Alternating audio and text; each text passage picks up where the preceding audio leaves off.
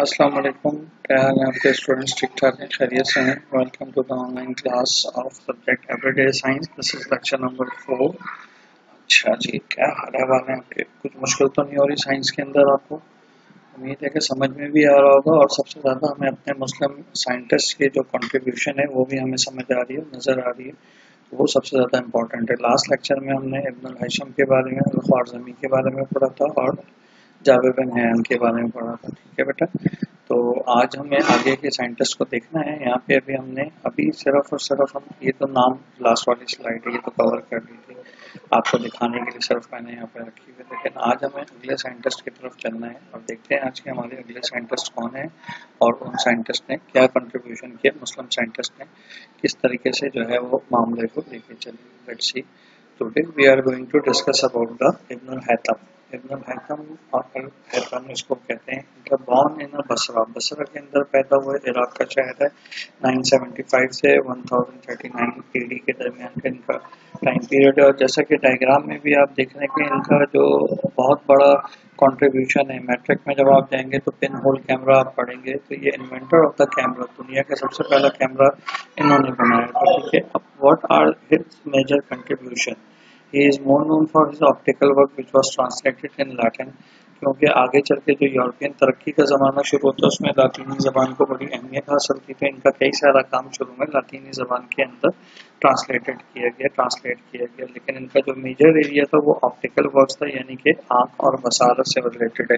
Camera भी इसी तरीके से बात है। इन्होंने also he explain the process of refraction of light ठीक है थ्रू ट्रांसपेरेंट ऑब्जेक्ट अब यहाँ पर बेटा एक सवाल आता है, जो ट्रम आती जा रही है, मेरी कोशिश होगी कि मैं आपको एक्सप्लेन भी करता चला जाऊँ। तो रिफ्रैक्शन ऑफ़ लाइट क्या होता है? There were the two phenomenas actually for the light हमारे पास दो फेनोमेनास है।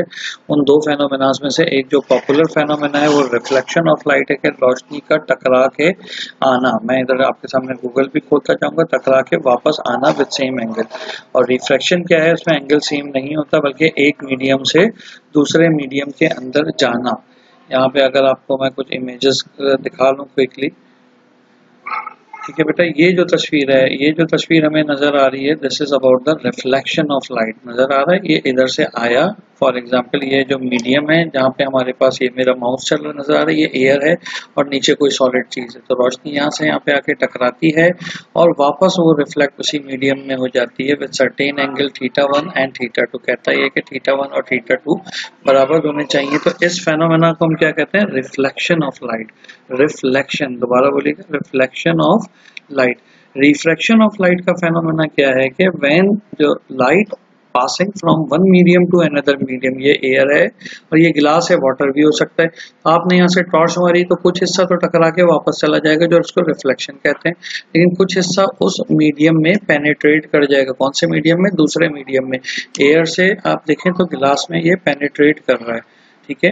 तो उसमें क्या हुआ? अब ये होता क्या है? वो तो एक अलग बात है। उसमें क्या हुआ? ये जो प्रोसेस हो रहा है, ये रिफ्रैक्शन का अमल कहला रहा है। कौन सा अमल कहला रहा है ये प्रोसेस रिफ्रैक्शन ऑफ़ लाइट तो रिफ्लेक्शन रोशनी का इनकास रिफ्लेक्शन रोशनी का इनकास ये दो प्रोसेस तो इसके मुतालिक जो है, सबसे पहले जिन्होंने बताया इब्न हैकम थे बहुत ही इंपॉर्टेंट कंट्रीब्यूशन है। आज लाइट की जितनी भी थ्योरी है ऑप्टिकल फाइबर की वर्किंग है जिस नेट की बदौलत आप देख रहे हैं, ये सब ऑप्टिकल फाइबर पे चल रहा है। इसके पीछे भी ये रिफ्लेक्शन और रिफ्लेक्शन का टोटल इंटरनल रिफ्लेक्शन का फेनोमेना इस्तेमाल होता है।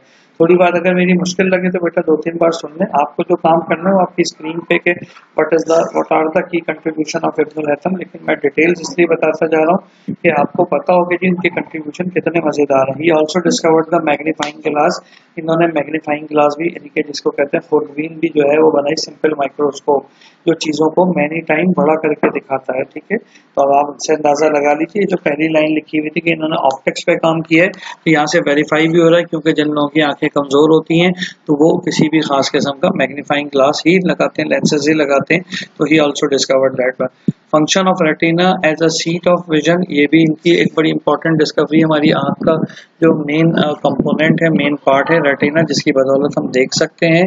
वो भी जो है उसके मुतालिक, उसकी हैत के मुतालिक डिस्क्रिप्शन सारी की सारी इब्न हैतम ने दी। उसके बाद he was the first scientist who elaborated the two laws of reflection अभी पीछे हमने रिफ्लेक्शन का फेनोमेना भी पढ़ा, उसके दो लॉज भी हमारे पास हैं। और he was the first scientist Ibn Haitham was the first scientist who discovered the law of reflection कौन कौन से दो लॉज थे? क्विकली हल्का फुल्का देख लेते हैं। अच्छे तो खैर आपके कोर्स में जब आएगा, उसी वक्त आप देखेंगे इसको। तो लॉ ऑफ़ रिफ्लेक्शन क्या है? यहाँ पे हम इधर गूगल कर लेते हैं। एक तो मैंने बताया था कि दोनों एंगल बराबर होंगे।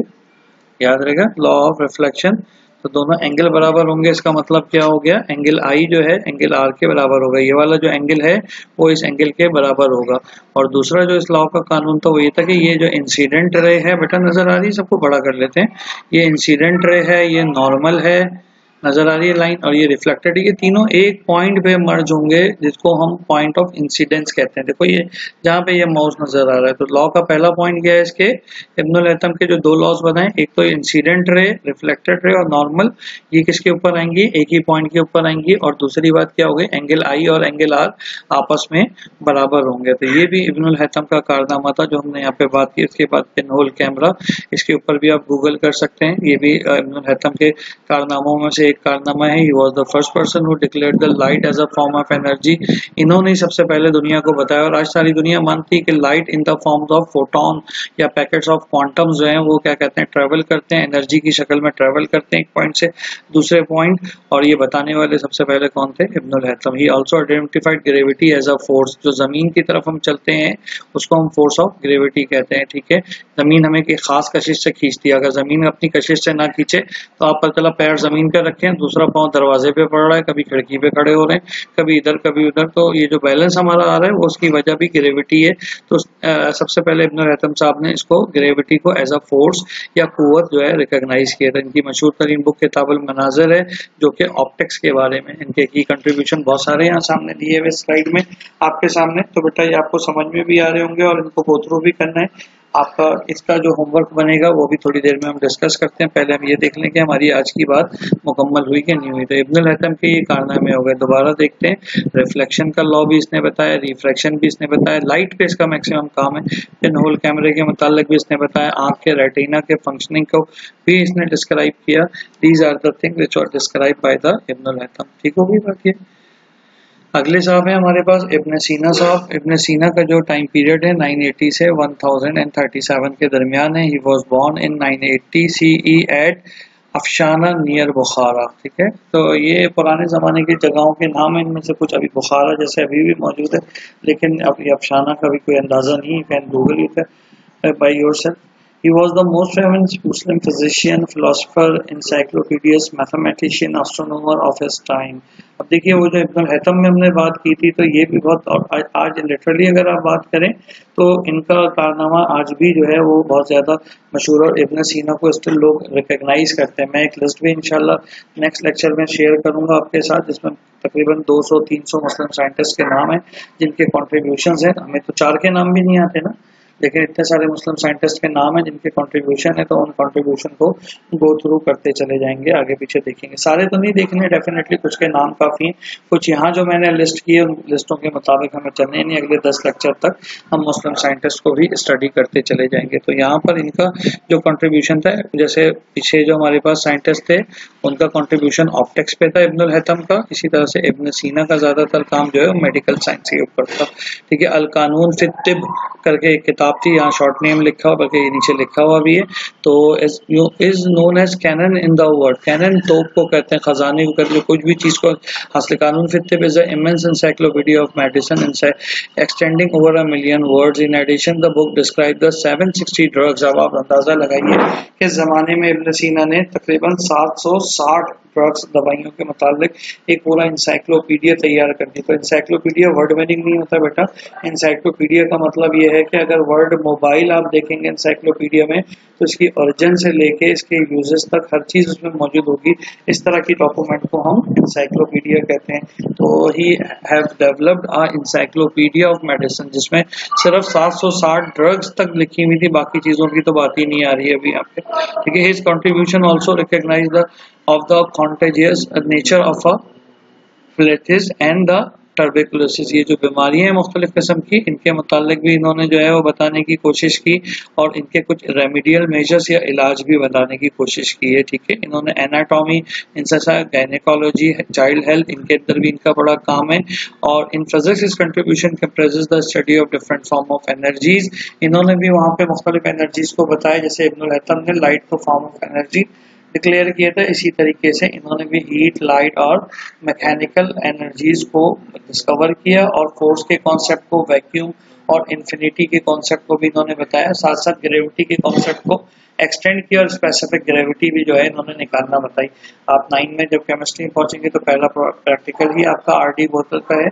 स्पेसिफिक ग्रेविटी निकालनी होती है सॉल्ट की आपको तो वो सब आप जब भी कर रहे होंगे तो आपको ये मुस्लिम साइंटिस्ट के कॉन्ट्रीब्यूशन याद आ रहे होंगे, ठीक है? इसी तरह से he also use the air thermometer to measure the air temperature देखें कितने कितने कारनामे इन्होंने दिए हुए, कितने काम इन्होंने अरेंज किए, कितनी चीज़ें इन्होंने करके मुसलमानों के लिए आगे की। आज इनका नाम लेवा कोई नहीं nobody knows even particularly Muslim word nobody knows कोई भी जानता ही नहीं है कि ये मुसलमानों की कितनी कंट्रीब्यूशन है। मेरे पास एक लिस्ट और भी है, शायद मैं आपसे शेयर करूँ, वो किसी और टाइम पे भी हम देखेंगे।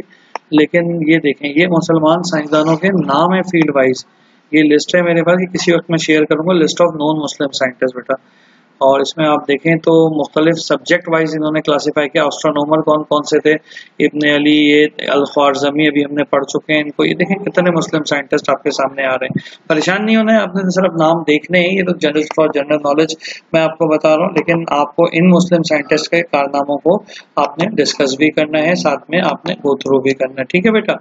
यहाँ तक बात समझ में आती है कोई इशू उसके अंदर? अब आ जाइए आपके होमवर्क की तरफ़। आपका होमवर्क क्या है हमारे पास? आज का होमवर्क क्या है भाई? जल्दी से बताइए मुझे। क्या होना चाहिए आज का होमवर्क पहला क्वेश्चन हमारा आज के होगा। इब्नुल हैतम की कंट्रीब्यूशन लिखनी है। आज क्वेश्चन जरा ज़्यादा है। ठीक है? नेक्स्ट वीक लेक्चर फाइव जब आपके पास आएगा, जब तक आपने आराम से काम ये मुकम्मल करना है question number one what are the key contribution of Ibnul Haitham question number two write the few key contribution of Ibn Sina. Question number three explain the working of pinhole camera Question number four, what is reflection? Describe its two laws ठीक है? इतना काफ़ी है बाकी फिर reflection वगैरह इंशाल्लाह next class के अंदर उसको दोबारा रिकैप करते हुए हम सवालों को देखेंगे। अगर आपको ये सवाल समझ में नहीं आ रहे हैं तो मैं क्विकली यहाँ पे टाइप भी कर देता हूँ ताकि आपको नज़र भी आए कि जनाब हमने क्वेश्चन कौन कौन से पेपर में करने हैं। ठीक हो गई बात ये। ठीक है पहला सवाल क्या है हमारे पास? आपकी स्क्रीन नज़र आ रहा है बेटा? थोड़ा सा साइज़ में इसका कंट्रोल कर लो। ठीक है? क्वेश्चन नंबर वन जो है हमारे पास वो है discuss the contribution of Ibne Haitham ठीक है? और क्वेश्चन टू जो है आपका वो इसी तरीके से इब्ने सीना कंट्रीब्यूशन ऑफ़ इब्ने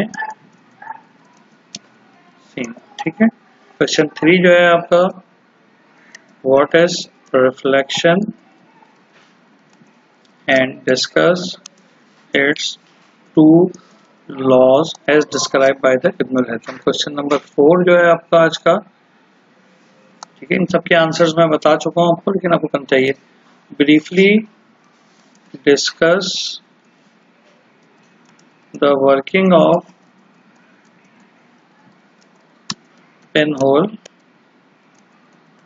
camera आप नेट से भी ले सकते हैं, लेकिन आपको बस अब इतनी सी बात करनी कि आप पहले पाँच लाइन दस लाइन का जवाब लिखें, लेकिन आपको अपने अल्फाज में आना चाहिए, ठीक है बेटा?